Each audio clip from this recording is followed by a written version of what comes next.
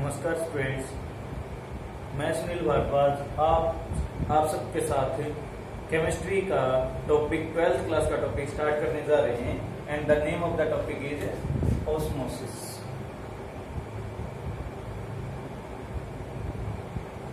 dear student आप सभी जानते हैं, इससे पहले ओस्मोसिस को समझने से पहले हमें एक बहुत ही आसान, और जो हम पिछली कक्षा में पढ़ चुके हैं, उस टॉपिक को जानने की कोशिश करते हैं that is the diffusion diffusion topic को समझना बिल्कुल आसान है, और हम ये टॉपिक हमारी पिछली कक्षा में भी समझ चुके हैं कि डिफ्यूजन का मतलब होता क्या?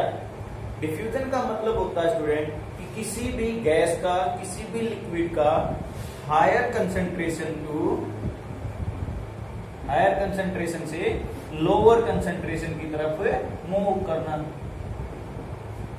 Take an simple example of water अगर हम पानी का उदाहरण लेते हैं स्टूडेंट तो पानी हाई एल्टीट्यूड एल्टीट्यूड का मतलब ऊंचाई। एक हाई एल्टीट्यूड से क्या करेगा? लोअर एल्टीट्यूड की तरफ़ मूव करेगा। यही होता है। हमारा जो ड्रेनेज सिस्टम होता है स्टूडेंट जो पानी की निकासी का सिस्टम है, वो सारा का सारा डिफ्यूजन प्रोसेस पे काम करता है। कि ऊंचाई से पानी है, नीच की तरफ़ या जो नीचे का हिस्सा होता है, उसकी तरफ़ हमेशा मूव ऑन करना पसंद करता है या मूव करता है। गैस भी ऐसे ही करती है, जहाँ पर गैस का ज़्यादा रिसाव होता है, जैसे धुआँ होता है। आप सब देखते हैं, चिमनी से या हमारे घरों से जो भी धुआँ निकलता है, वो जब चूल्हे से निकलता है या चिमनी से निकलता है, उस टाइम पे हम उसको आसानी से देख सकते हैं। लेकिन धीरे धीरे वो धुआँ क्या हो जाता है? डिसअपियर हो जाता है दिखाई देना बंद हो जाता है। ये क्यों होता है? क्योंकि वो हायर कंसंट्रेशन से जो वातावरण के अंदर और गैसेज हैं उनकी कंसंट्रेशन कम है उनके अंदर जाकर के वो क्या होना शुरू हो जाता है? मिक्स होना शुरू हो जाता है। सो so, इस प्रोसेस को हम क्या बोलते हैं? डिफ्यूजन बोलते हैं। The movement from a higher concentration to lower concentration ये टर्म हम ऑलरेडी कर चुके हैं इन प्लस वन क्लास आपको टीच किया गया होगा डिफ्यूजन के बारे में। आज हम शुरू करते हैं डिफ्यूजन प्रोसेस का टोटली अपोजिट आप बोल सकते हैं कि इसका बिल्कुल अपोजिट टॉपिक है दैट इज़ द ओस्मोसिस इसका बिल्कुल अपोजिट टॉपिक हम आज शुरू करने जा रहे हैं, जिसका नाम क्या है? ओस्मोसिस चलिए देखते हैं ओस्मोसिस होता क्या है।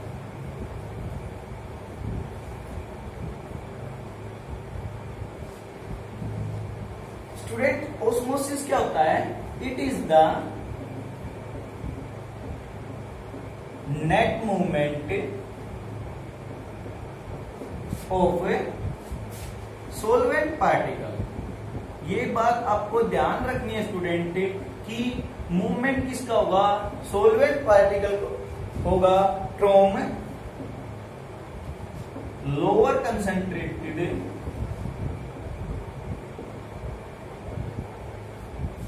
solution to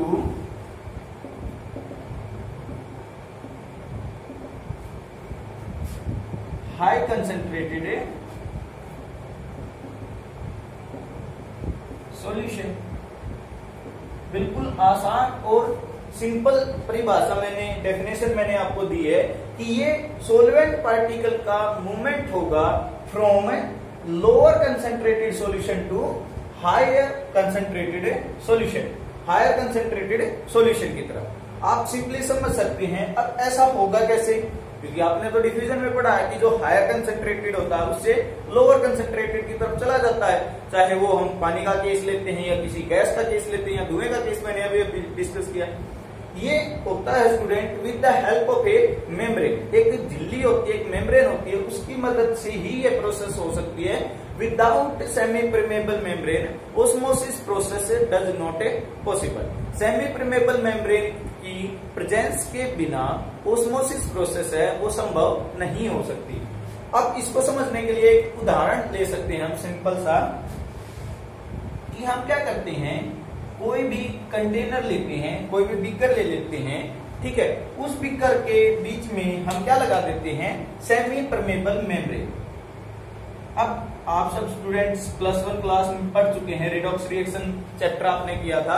ठीक है, वहाँ पे आपने रिडॉक्स रिएक्शन के अंदर इलेक्ट्रोलाइटिक सेल के बारे में पढ़ा था इलेक्ट्रोकेमिकल सेल के बारे में पढ़ा था। तो वहाँ पे इलेक्ट्रोकेमिकल सेल में आपने कुछ इस प्रकार की एक मेम्ब्रेन के बारे में पढ़ा होगा?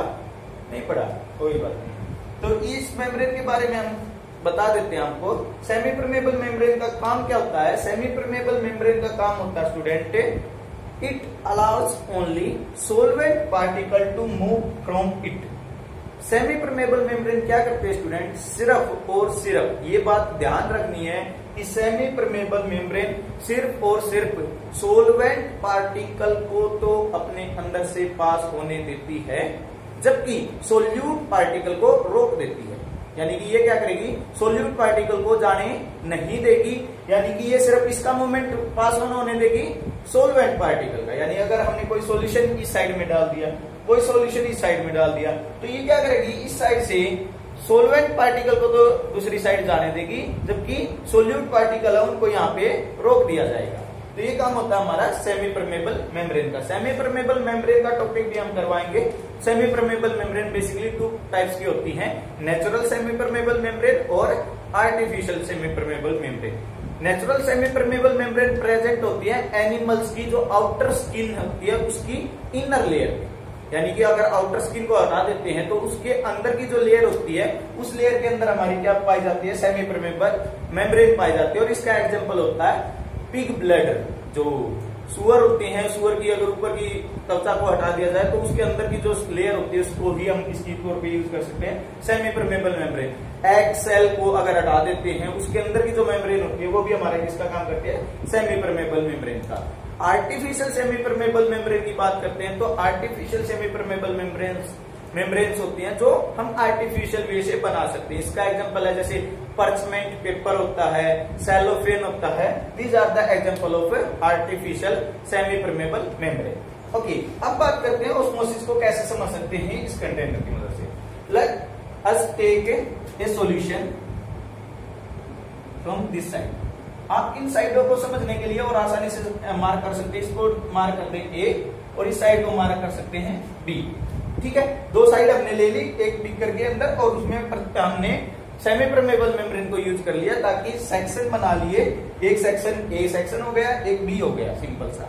ठीक है? अब हमने एक सॉल्यूशन इसके अंदर फिलअप कर दिया है। और सॉल्यूशन क्या लिया हमने?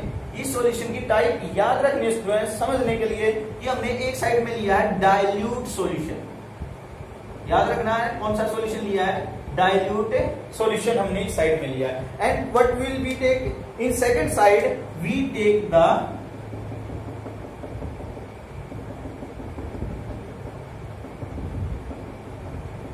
so much concentrate. Or you can say the concentrated solution.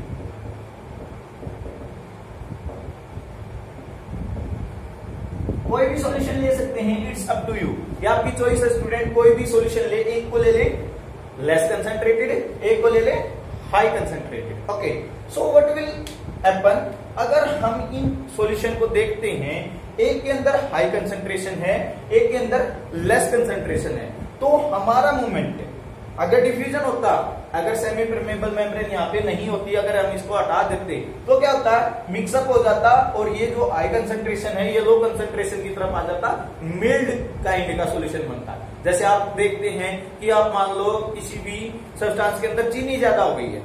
आप पानी लिया है, आपने उसके अंदर चीनी ज़्यादा हो गई है तो उसको कम मीठा करने के लिए हम क्या करते हैं, उसमें और पानी ऐड कर देते हैं, जिससे उसका जो मीठापन है, वो थोड़ा सा कम हो जाता है। ऐसे ही सब्ज़ी वगैरह होती है, उसमें अगर ज़्यादा नमक गिर गया है तो हम उसमें क्या करते हैं, थोड़ा सा और पानी ऐड कर देते हैं, जिसकी वजह से क्या हो जाता है, उसका जो नमक का क्वांटिटी है, वो हमें कम पता चलती है।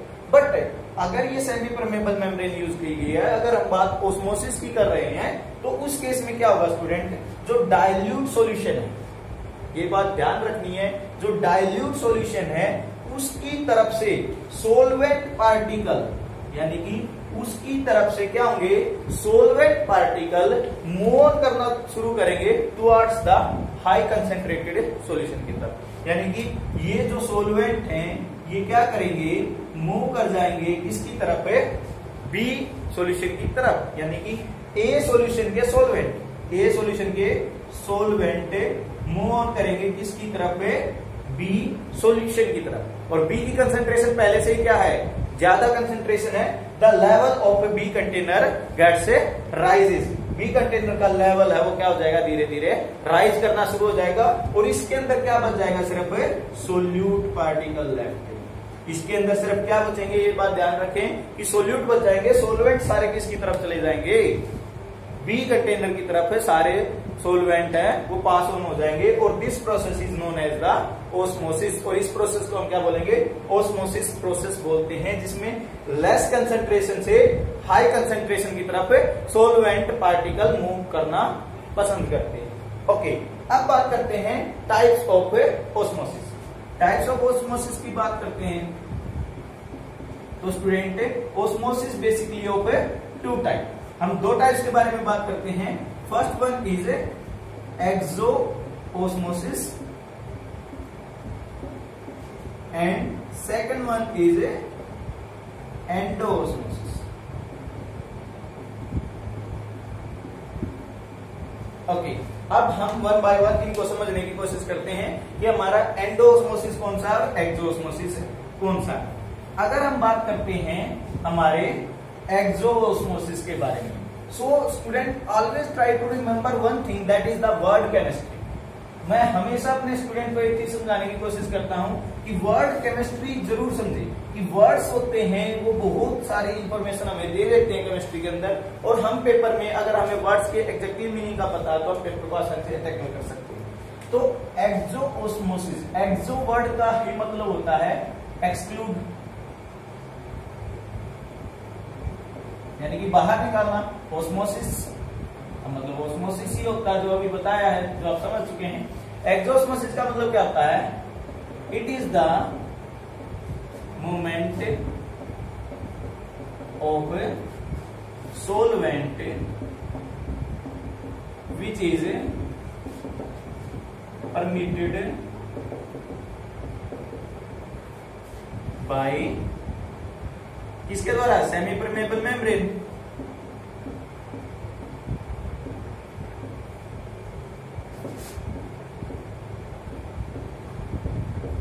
to outside what do mean by this student exosmosis का मतलब होता है कि जब सेमी परमेबल मेम्ब्रेन क्या करे?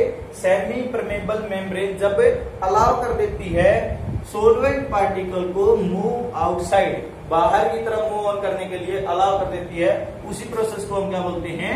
एक्जो ओस्मोसिस बोलते हैं and if you talk about the endosmosis अगर हम बात करते हैं एंडोस्मोसिस के बारे में तो एंडोस्मोसिस प्रोसेस हमारी क्या होगी? That is the totally reverse of the exosmosis जो हमारी क्या होगी? एक्जो ओस्मोसिस का बिल्कुल रिवर्स हो जाएगी। And what is that it is the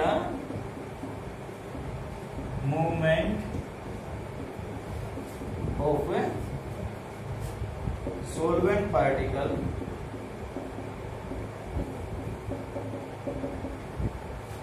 permitted by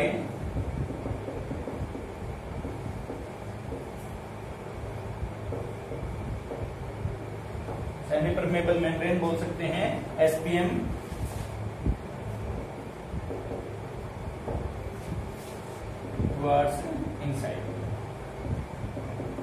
inside की तरफ़ मूवमेंट को हम क्या बोल सकते हैं?